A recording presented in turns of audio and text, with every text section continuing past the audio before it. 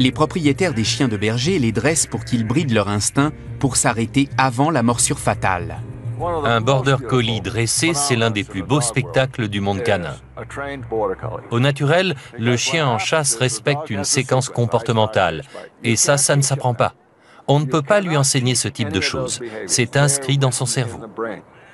Quand on l'observe, on voit qu'il guette sa proie avec une attitude classique de chasseur. Le mouton sent que c'est un comportement de prédation. Et il se dit « Oulala, je sens que je vais finir en ragoût ».